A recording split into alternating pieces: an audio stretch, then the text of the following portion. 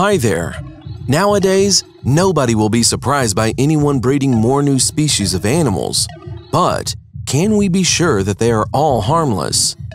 Watching this episode to the end, you will be able to answer this question because in front of you awaits giant super crocodiles reaching 20 feet in length, creepy dogs that look like dire wolves, hybrids of the most powerful and dangerous bears on the planet, and much more. Let's get it on. Australian black tip shark. This is one of the few shark hybrids known to science. It was discovered in January 2012 off the coast of Australia. In a stretch of shallow water nearly 125 miles long, researchers have found 51 representatives of this eerie and unusual species. The very appearance of a hybrid suggests that sharks are trying to adapt to warmer waters, and the news of the appearance of the hybrid alarmed scientists because almost all mestizos turned out to be larger and more powerful than their parents, which means that over time they can completely displace them from these places. And what could be more frightening from the inhabitants of this continent than the news of a new shark, which turned out to be stronger and larger than the previous ones? Super crocodiles. Did you know that the birth of giant crocodiles may well be the work of human hands, or rather the result of crossing marine and freshwater individuals? This often happens in captivity. For example, one of the most famous Asian crocodiles, which reaches almost 20 feet in length, is a mestizo. The giant was caught in Thailand in 1972, and since then he lives on a crocodile farm and is the record holder for the longest crocodile. However, every year the probability of competition from American and Cuban reptiles increases.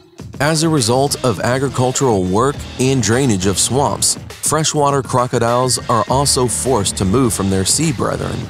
Who knows what the consequences will be? Wolf Dog Have you ever watched Game of Thrones?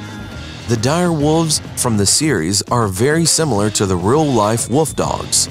Modern wolf dogs are a cross between subtle breeds of domestic dogs and wild wolves. Such crossing is extremely rare in the natural way.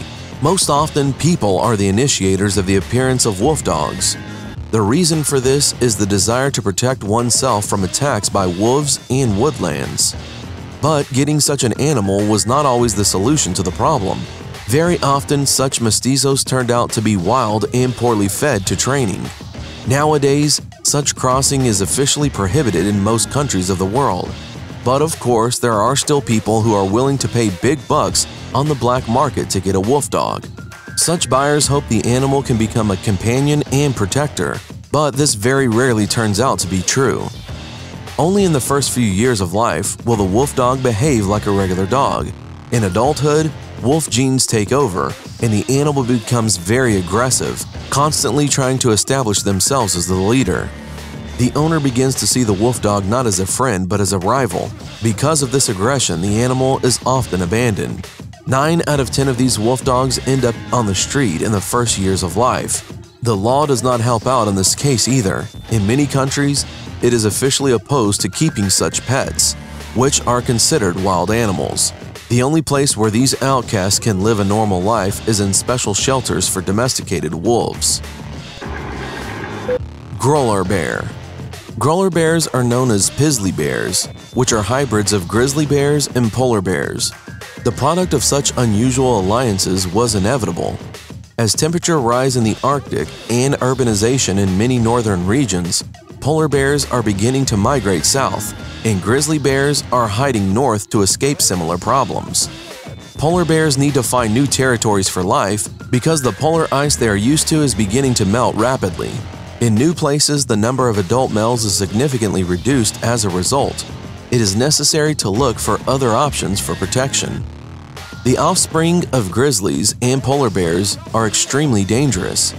Both types of bears are large and fierce predators, and they inherit all their hunting instincts. Grolar bears are increasingly seen in Alaska and northern Canada, and scientists are confident that one day they will outnumber their ancestors. Zho Zho are also known as Khainag, which is a hybrid between the yak and a domestic cow.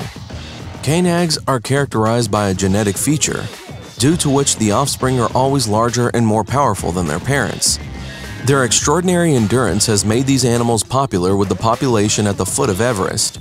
At the highest mountain in the world, there are many climbing camps, which are constantly in need of supplies of food and equipment. Many generally argue that only thanks to this hybrid, the local population can easily survive all year round in the harsh mountain climate. However, scientists do not support such categorization. Despite their usefulness, Zho are quite creepy creatures. Most are jet black in color, about 5 feet at the withers, and weigh over 650 pounds.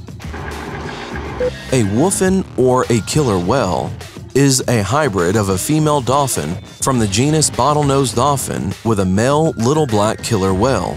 The first killer whale was born in Tokyo at SeaWorld but died at the age of 200 days. The second hybrid in the world was a female killer whale named Kekaimalu, born on May 15, 1986. She was born in captivity as a result of the unexpected mating of a male pseudo-killer whale and a bottlenose dolphin.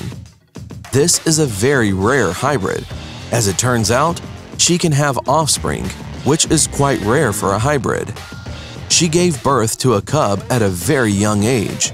The baby died a few days after birth.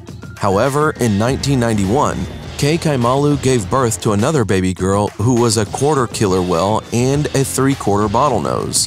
The sizes and other parameters of the killer whale are average between the other species. Now only two wholphins live in captivity, both in the Sea Life Park in Hawaii. Scientists have heard reports of wholphins seen in the wild, but they have not yet been verified.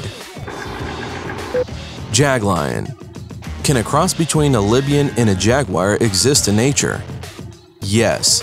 Science knows several such individuals. It was decided to name the found mestizos jaglions. The first jaglion was registered in 1967 in southern Africa.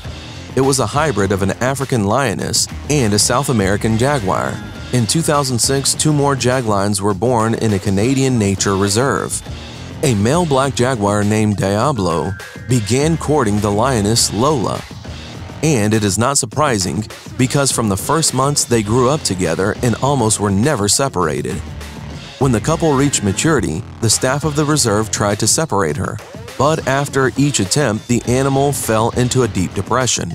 After the next reunion, it became clear that the two so dissimilar representatives of wildcats are now a family. Scientists seriously doubted that such a different couple would have offspring, but they were mistaken. Jahzara and Tsunami are now 14 years old. The first, because of its noble color, became a real star of the reserve, but she was not lucky. Lola gave up Jahzara right after birth, possibly because of the same color. The female jaglion was seen by the reserve staff. That's all for today. Write in the comments which hybrid seemed the most interesting to you, and if you like this video, then don't forget to put like. Thanks for watching, subscribe for more.